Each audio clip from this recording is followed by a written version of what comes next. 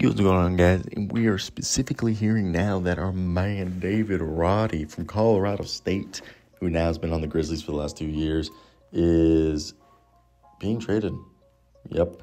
If you guys haven't been figuring out or following, not figuring it out, Mr. Shams Charania, yeah, Shams Charania finally beat Mr. Woj today, but Memphis is sending David Roddy to the Suns for a pick swap as part of a three way deal with Phoenix and Brooklyn.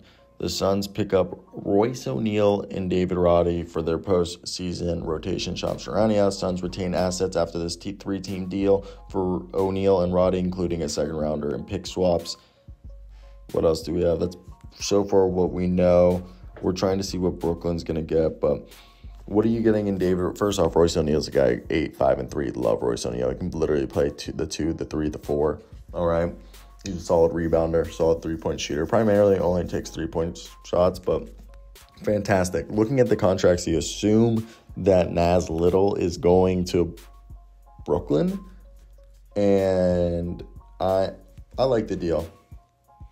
I'm not necessarily impressed, but I do believe that this is a deal that when you look at a guy like David Roddy, I first thought David Roddy's. Uh, they got two guys who can play both forward spots and arguably they can go big lineups.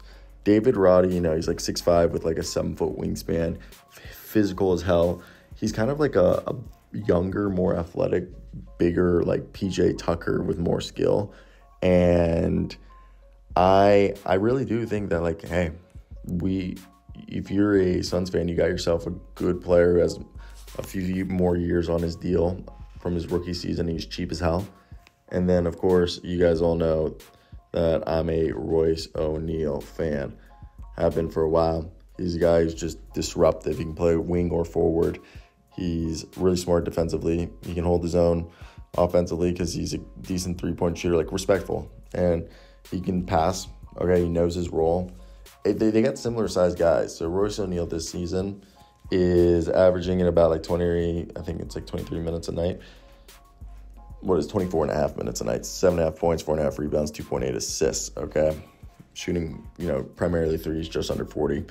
While you have David Roddy this season, who's actually getting a bit more run due to the injuries, playing 23 minutes a night, eight and a half points, four rebounds, and 1.6 assists. But I definitely do think this was a good deal for the Grizzlies because I think they're they're in a gap year, and I think they're realizing that maybe David Roddy wasn't fitting what they wanted, and they walk away with some kind of draft pick compensation. Granted, David Roddy was a first round pick. That's I wonder if that there was some push from his agent and stuff to get him off this team.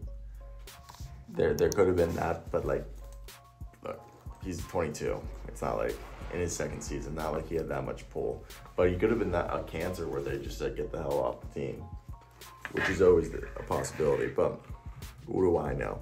I do think it's an interesting deal, and with more and more time that passes, I want to see if we got specification if it is Nas Little that is heading part of that deal. And Phoenix now has two roster spots open as part of the buyout. Yeah, let's see this David Roddy deal. I think it Nas Little has to be going over to Brooklyn. Three, yeah, three second round picks and Nas Littles. That's it. So, who confirmed this? Yeah, so Royce O'Neale is going to Phoenix for three second round picks, and Nas Little is going to Brooklyn. So. Yeah, damn, not a bad deal.